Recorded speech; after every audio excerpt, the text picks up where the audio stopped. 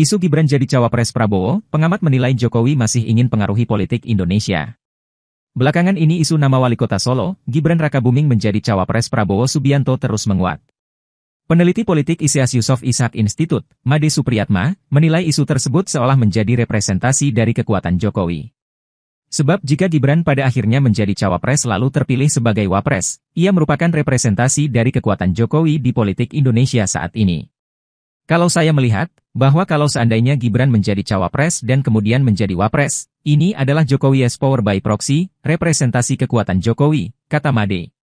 Dia bagaimanapun juga masih ingin untuk memengaruhi politik Indonesia, tuturnya.